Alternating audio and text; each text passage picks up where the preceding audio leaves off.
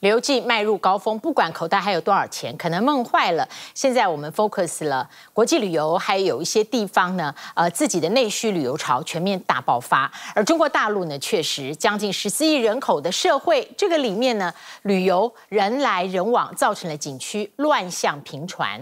在云南的梅里雪山，有游客发现沿路进到景区的国道，竟然都被围墙高高挡住了，也就是说，过路景色不给你看。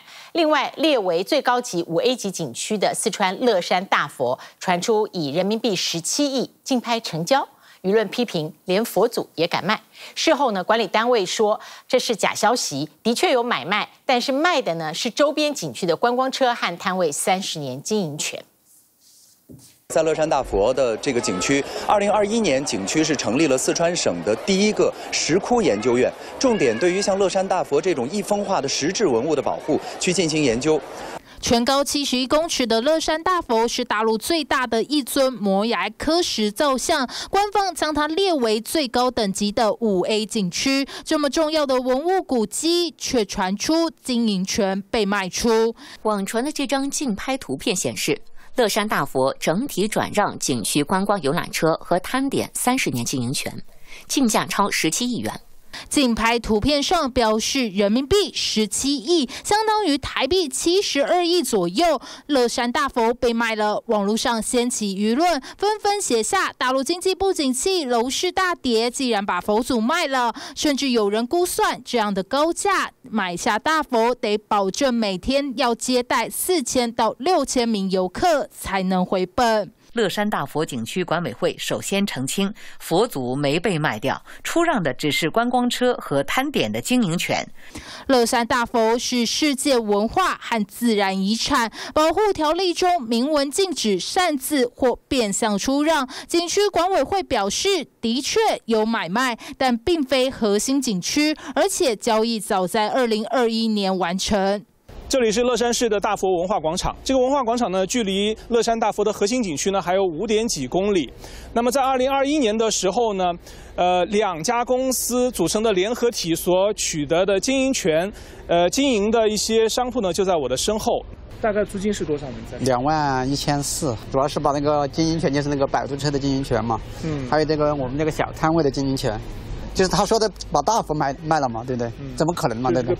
摊商驳斥佛祖被卖的假消息，因为卖的是景区摊位和接驳观光车的三十年经营权，而这些都不属于核心景区范围内。我们的这个呃游览服务车只是到山门口，然后游客下车以后，通过呃山门口，然后检票入园。虽然说卖的不是主要的乐山大佛，但大陆景区管理复杂，收费更屡遭抨击。今日就有旅游部落客到云南的梅里雪山，发现沿路进到景区的国道旁被修筑围墙，过路景色不给看。要买票吗？嗯，二十块钱一个人，过来买一下。要不就要不就买票啊。要想远眺美景，只能到设置的观景台，而且要收费。景区管理单位表示，当地属于边疆地区，村民经济条件不好，修筑围墙、观景付费，会把收益反馈给村民。但不止一个地方如此，黄河壶口瀑布沿途公路也被高墙围挡。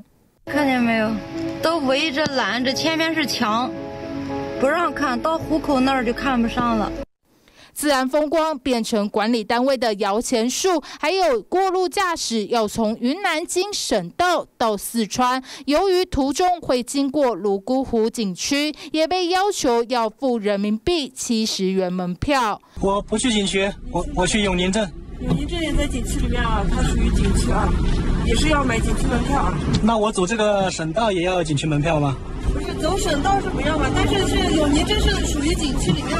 过路也要收费，景区经营乱象重回。疫情前，在大陆官方要求下，许多景区才推出免门票。现在旅游复苏，收费名目手法一堆，品质大打折扣，让大陆境内景区旅游形象受损。TBS 新闻综合报道。